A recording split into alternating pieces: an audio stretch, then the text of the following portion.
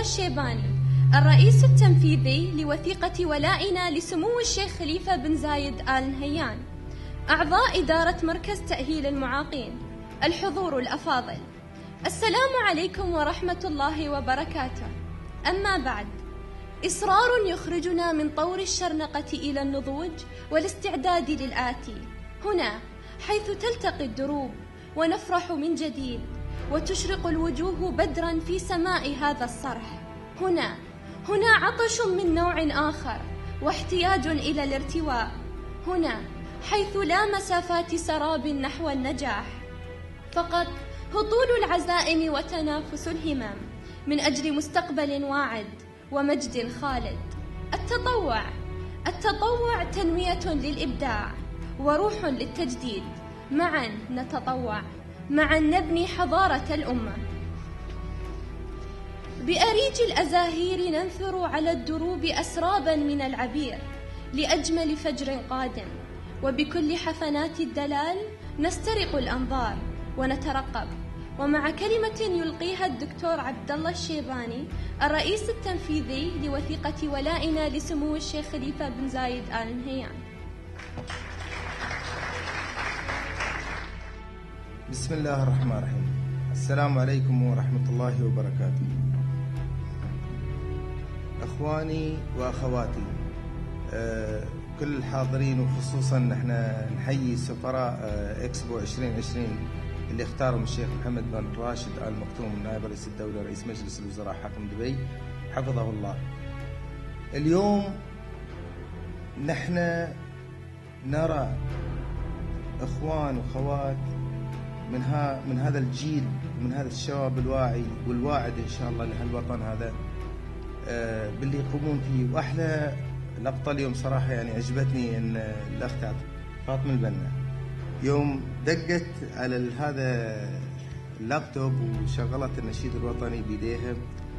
فانعجبت بهالحركة هذه لأن فيها self confidence يعني اليوم أنا مبسوط مرتاح مستانس آه، منبهر معجب بهذا الشباب اللي مو محتاج مش محتاج حد ياخذ بيديه. عنده ثقة في نفسه وبدأ الخطوة الأولى ونفذ الخطوة. سئلت في أحد ال- الندوات قبل كم يوم في جامعة الإمارات أن ما هي العواقب اللي ممكن يواجهها الشاب أو الشابة من بلادنا من دولة الإمارات العربية المتحدة في مبادرات إذا هو حب يبادرها. فقلت لهم دائما الإنسان لما يكون يتخرج من المدرسة ومن الجامعة ويبتدي حياة عملية يكون هو يبتدي ياخذ المسؤولية الكلية في حياته. وقبل ما ياخذ المسؤوليه الكلية وهو يدرس أثناء الدراسة سواء في المدرسة في الجامعة أو الكلية يكون ماخذ مسؤولية جزئية في حياته. المسؤولية الكلية تختلف عن المسؤولية الجزئية. فأي مبادرة أصلا أي مبادرة لما الشخص حب يبادرها فهي بحد ذاتها تقع في نفسه أول أسئلة انه كيف راح أنفذ؟ من وين أجيب فلوس؟ منو اللي بيدعمني؟ منو اللي بياخذ بايدي؟ منو اللي يحتضن هالمبادرة؟ فهذه المسؤولية هذه لما هو يبادر من نفسه ومن ذاته فتصبح المسؤولية الكلية في عاتقه على عاتقه عفوا وطول ما كانت المسؤولية الكلية على عاتق الإنسان معناته هو المسؤول عن التنفيذ التنظيم آه، الفكرة اللوجو الشعار الاسم اللون آه، المكان الزمان المال التكلفة. فهذه المسؤولية الكلية هذه بحد ذاتها يا إخواني أخواتي هي أول عقبة ممكن يواجهها أي آه، شخص أو أي بنت من بنات الدولة أو أي شاب من شباب الدولة. مجرد هالمسؤولية الكلية لما تيجي على عاتق الإنسان فهذه أول عقبة.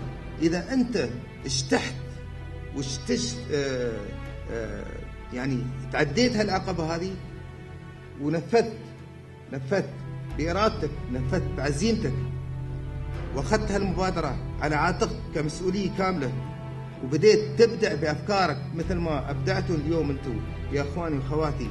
بأنكم خذيتوا بادرتوا ونفذتوا واجتهدتوا ووصلتوا إلى أن وصلتوا إلى هذا المكان وأشكركم وأحييكم كذلك على هذه المبادرة وعلى هالمسؤولية الكلية.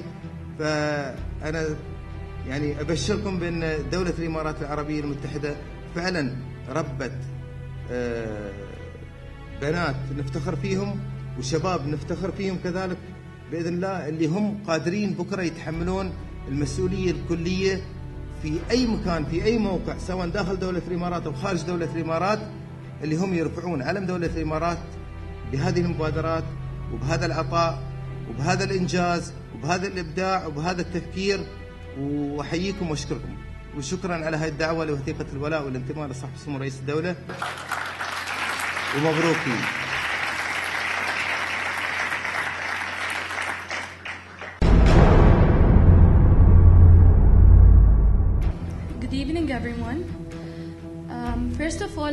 thank Dr. Abdullah bin Muhammad Yusuf Al Shaybani, the Chief Executive of the Charter Our, Allegiance to Khalifa, for attending. I'd like to express my extreme gratitude and I really appreciate your support.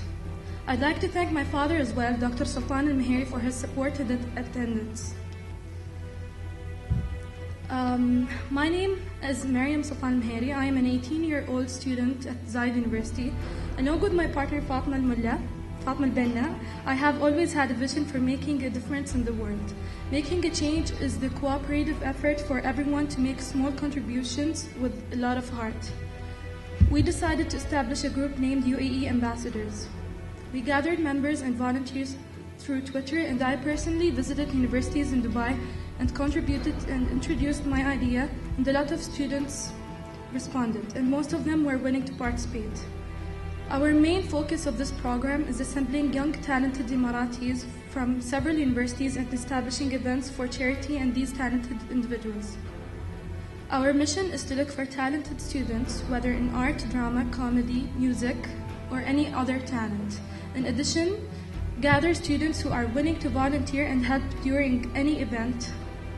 Combine the talents with volunteer work in order to come up with ideas to benefit the community. For instance, talented individuals would have the opportunity to perform in fr- front of an audience and become noticeable, and at the same time, the profit would be would go to charity. Um, every team has a leader and followers, but in our team, we are all leaders. As ambassadors to Goodwills, we all work together as one big family and help the unfortunate to create a better future. The purpose of our group is volunteering and serving people who are in need of help or just helping out the community. It gives us a feeling of self purpose. It makes us feel good that we did something to help out someone without expecting anything in return. This project can also open up a whole new world of connections that can, can enable us to have a, a vocation that we truly love. We will discover new frontiers we never thought possible. This project will build leadership skills that will also assist with increasing our self confidence and sense of value.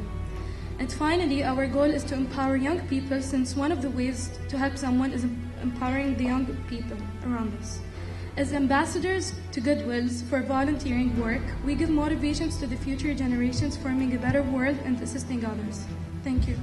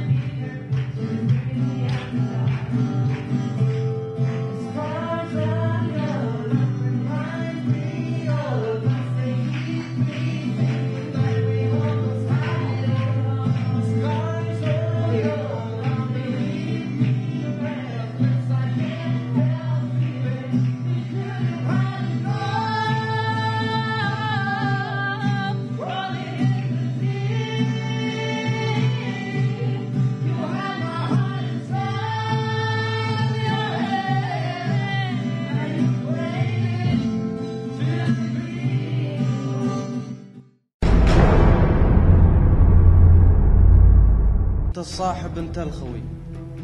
في الشدايد والصعايب نمشي على الخط السوي بين العصايف والهبايب لو على العلا ولا الهوي ما فرقتنا الدرايب. اطلب جهادي يستوي لاجلك أسوي المصايب. اطلب جهادي يستوي لاجلك أسوي المصايب. لو عود يشيب وينثني واصبح بين الناس شايب. ما ارضى فيك الاشتمي وشن لاجلك الحرايب. العدل العادل ينتمي لهم العدل كان تايب. ست سنين وأنا الخوي ست سنين وأنا الخوي. في المفارح والكرايب ارفع بدي لك ودعي والفن الفن أصلي بخير الحبايب سلامتك أول شيء أبغى أتكلم على طاري اسم سفراء الإمارات. طبعا قبل ما أتكلم قبل ما أقول أي شيء كل واحد ترى سفير لدولة الإمارات. قبل ما نكون سفراء لأنفسنا طبعا كل واحد سفير لنفسه. طبعا قبل ما يكون سفير لنفسه سفير لأهله سفير لدينه سفير لدولته صح ولا لا؟ منو هني يحب يكون سفير؟ منو هني فخور بدوله الإمارات؟ يرفع إيده. في ناس ترى ما رفعوا ايدهم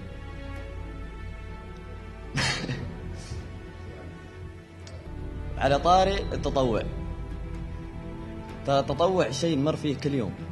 يمكن ابتسامة نبتسم نقول شيء. الثاني بعد يبتسم ويانا.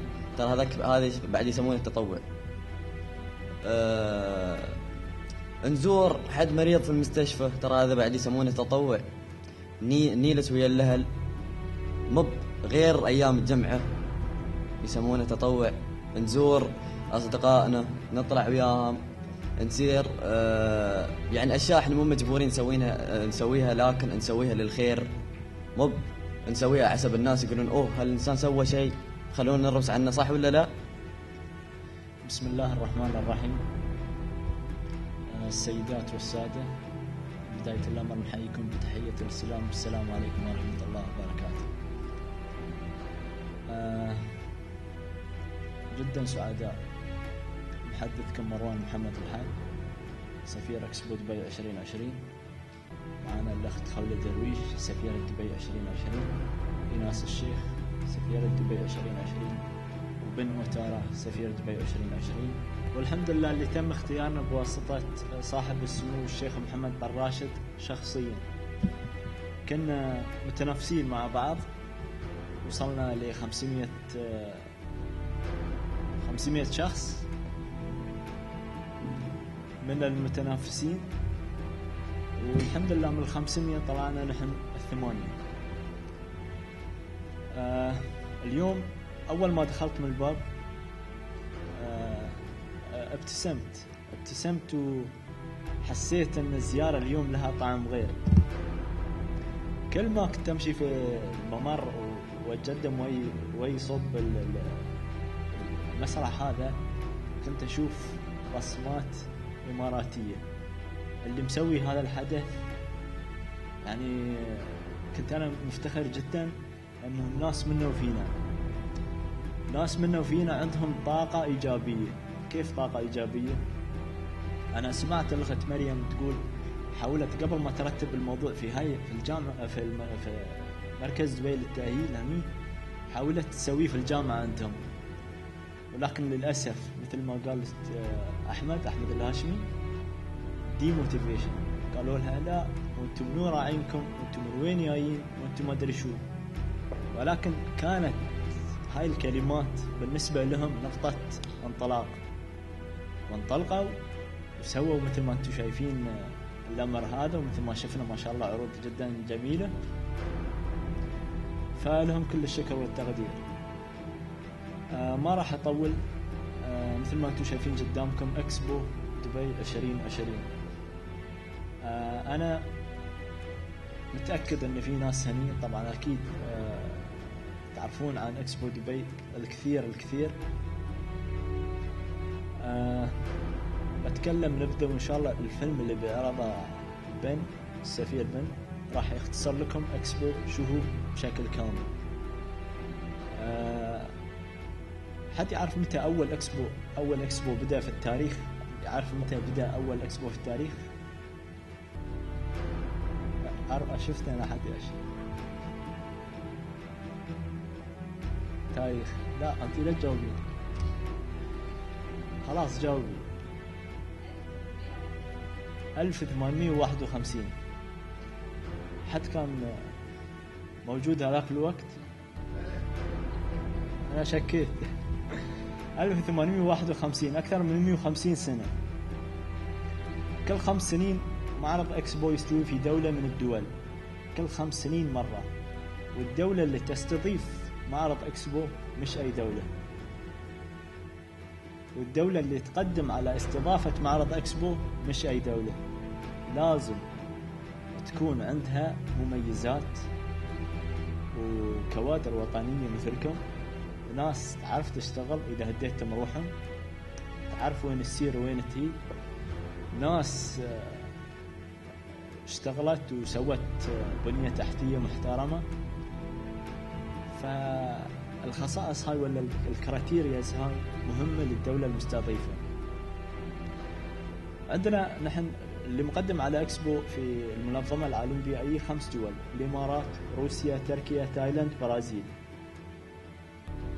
خمس دول هذه ينافسون على إكسبو دبي 2020 آه، يسعدني وجدا سعيد إني أقول إن دولة الإمارات العربية المتحدة من منها إمارة دبي أول مرة تقدم على إكسبو إنها تستضيف معرض إكسبو.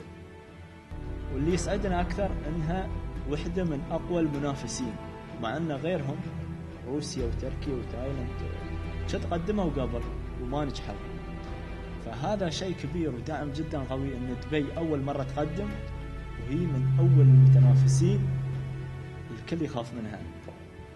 الإعلان الإعلان النهائي بيكون إن شاء الله شهر 11 2 11 2 11 ونتمنى كل التوفيق لدولة الإمارات العربية المتحدة والإمارة دبي وحين نستأذن آه، مستر بن كان يو yeah I invite Mr. Ben to show to show you something special that he did. Uh, that's what Sheikh Mohammed saw and select select him as an ambassador. يعطيكم الف عافيه وشكرا. Ahmed, you talked about the dream and that every one of us should have a dream and never give up. When I first read at the Facebook site of His Highness Sheikh Mohammed about that the UAE is bidding to host the Expo 2020, I smiled because I attended the Expo 2010 in Hanover and I know what an expo is. And for the first time, an Arabic country is bidding to host the expo. So I was thinking about what is it what I want the people to know about the UAE. So I wrote the poem and it was selected by His Highness Sheikh Mohammed bin Rashid Al Maktoum and I named it To the UAE Once Upon a Dream. Once upon a dream of a man with a mission whose biggest strive was to fulfill his vision of giving the desert a pulse, a heart, pumping life into each and every part of his country that stood up for a future unknown to become a model proudly shown. Sheikh Zayed bin Sultan Al Nahyan revealed his dream, his insight, his plan. He united the leaders of all six lands who proudly announced their joining hands. And together, the country, a unity of seven, turned the whole place into a green heaven.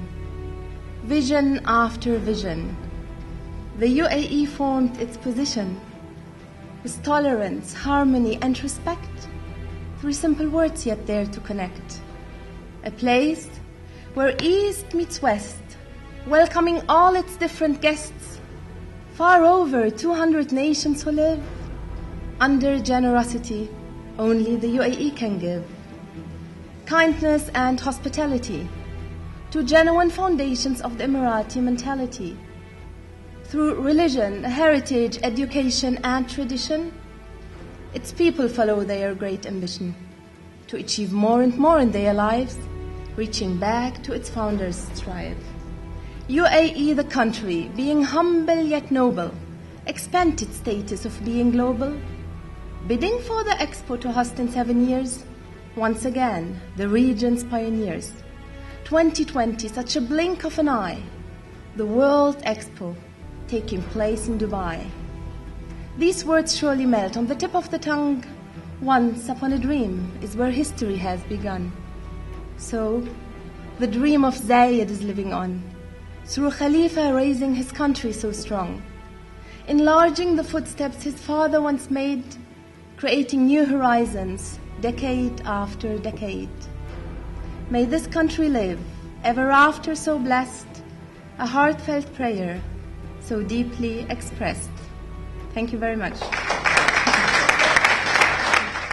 And like we said today, that you're an ambassador for yourself and you're an ambassador for every message that you want to put out.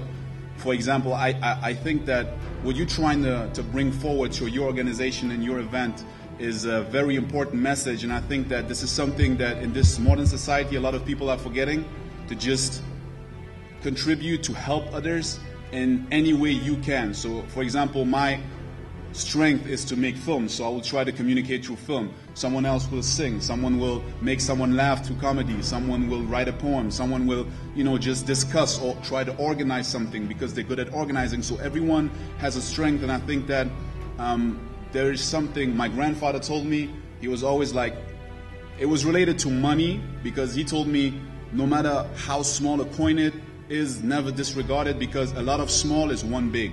And I think that it's the same thing when you do a, a- an event.